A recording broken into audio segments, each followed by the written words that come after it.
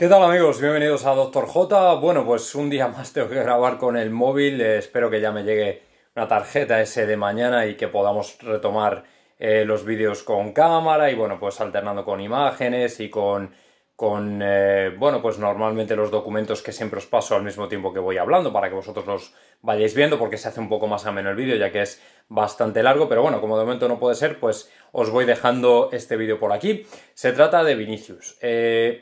Ayer, antes de ayer, después del partido del Atleti, sacaba un vídeo que levantó bastante polvareda acerca de Vinicius, de su actuación frente al Atlético y acerca de lo que en mi opinión es un momento crítico en su carrera en el Real Madrid. Daos cuenta que ahora mismo Vinicius tiene una situación compleja en el sentido de que estaba haciendo buenos números, estaba participando mucho, había marcado goles, asistencias, estaba siendo muy presente, pero sí es cierto que de un tiempo a esta parte, quizá en los últimos dos encuentros concretamente, no le hemos visto demasiado acertado y no solo es que no lo hayamos visto acertado, sino que es que ni siquiera le hemos visto tanto como nos gustaría, es decir, que ni siquiera ha tenido prácticamente implicación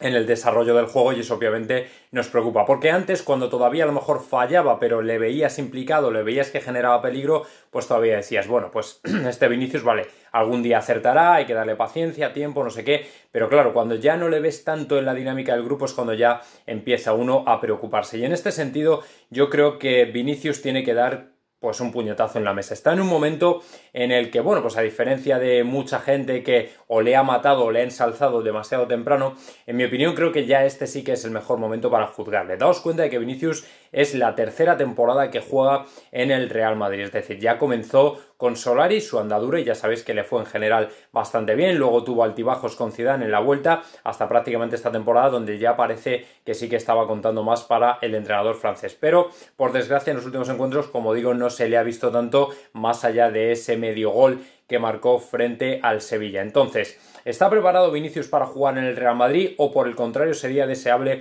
que saliera otro equipo, que fuera carne de cesión, que se traspasara, que entrara en una operación hipotética por Mbappé? Bueno, yo creo que hay que ser todavía pacientes. Lo que es cierto es que, por ejemplo, Vinicius ha mejorado mucho en el aspecto defensivo. Ya os lo demostré en un vídeo con un montón de datos precisamente que hablaban muy bien de él cuando jugó frente al Sevilla, creo que también lo hizo en general bien frente al Atlético de Madrid y también bien frente al Borussia Mönchengladbach en el partido frente a los alemanes. Con lo cual yo todavía le daría por lo menos un par de partidos antes de decidir. Es decir, por ejemplo,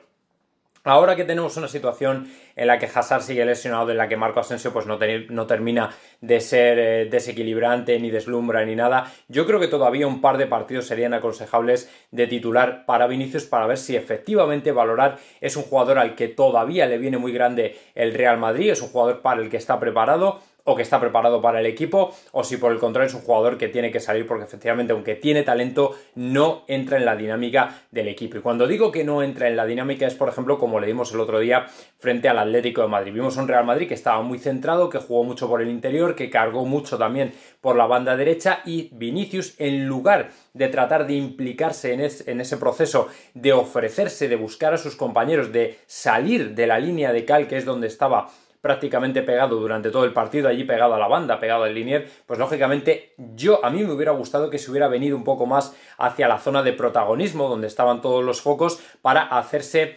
digamos,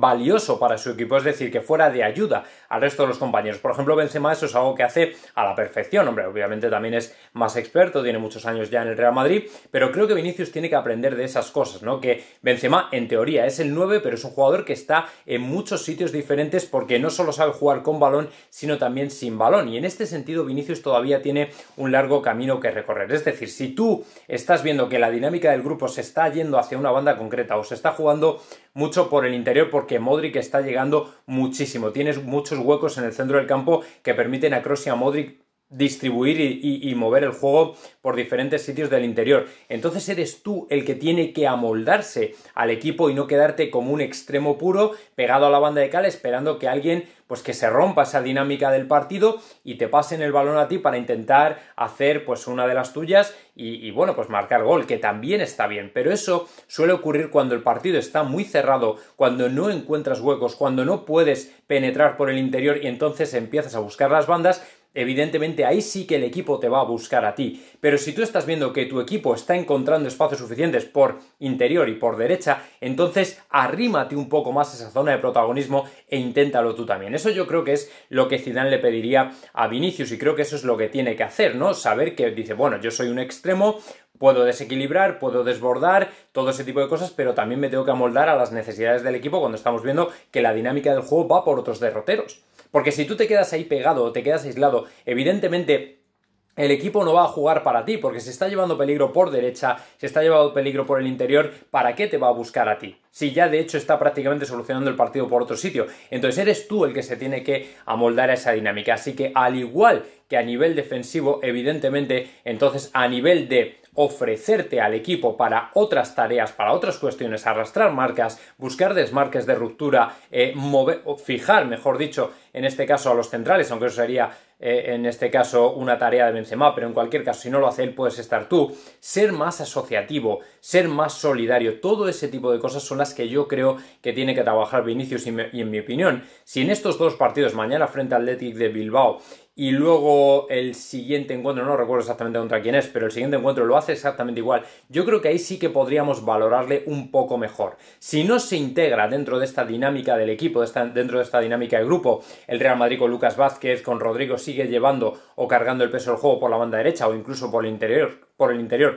con un gran Modric ahora mismo, entonces me parece que si él no consigue dar ese paso adelante, me parece que va a tener complicado continuar en el Real Madrid porque al fin y al cabo si no es imprescindible para el equipo si no aporta nada, entonces pues vamos a tener evidentemente un problema y vamos a tener que reconsiderar la situación de Vini en el Real Madrid. Como digo, yo creo que todavía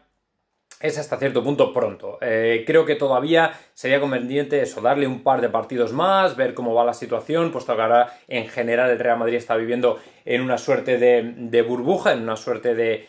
no sé cómo decirlo, de un momento de euforia del que todavía no se ha bajado y lógicamente, bueno, pues ahora lo de Vinicius queda ahí un poco apartado, pero si el Real Madrid, por ejemplo, estuviera cosechando malos resultados, entonces la situación de Vinicius sería todavía más cantosa, más clara y seguramente ya se le estarían echando mucho encima. Y bueno, pues yo particularmente le, animaría a dar ese paso adelante porque en una tercera temporada, si no estás demostrando, si no te conviertes ya prácticamente en imprescindible del entrenador, entonces tienes muchas papeletas de salir porque al final el Real Madrid no espera a nadie y tampoco va a guardarte, no lo sé, toda la vida, ¿no? no o sea, una cosa como la de Benzema, por ejemplo, a día de hoy a mí me parece muy difícil que ocurra. Benzema al final contó un poco con el favor de todos los entrenadores, con Mourinho, con eh, Pellegrini, con este Ancelotti, con Rafa Benítez, con Zidane, porque al final también ofreció un poco de todo. Entonces al final todos llegaron a comprender que no era el típico nueve goleador que revienta porterías, no, no, sino que te ofrecía algunas prestaciones más. Y en teoría, si Vinicius hiciera algo parecido, entonces yo creo que sí que se podría ganar el favor de Zidane. Pero en tanto en cuanto eso no ocurra,